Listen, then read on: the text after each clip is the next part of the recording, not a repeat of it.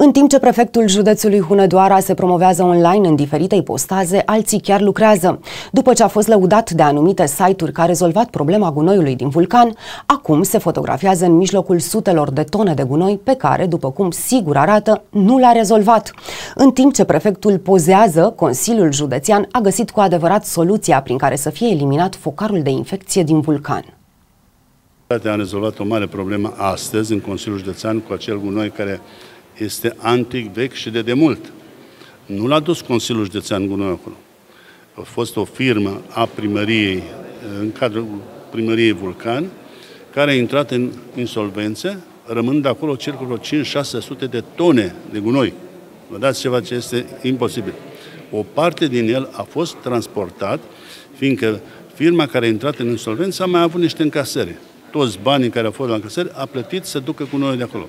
La ora actuală nu mai N-am avut posibilitatea legală să o fac până acum. Săptămâna asta, cei de la Protecția Mediului ne-au transferat nouă obligativitatea de a aduce acest gunoi.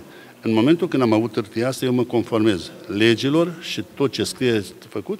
Am găsit astăzi înțelegerea și la consilierii județeni, am găsit și banii necesari și de mâine se transportă cu noi, dar fără indicația la depunere, fără indicația cuiva.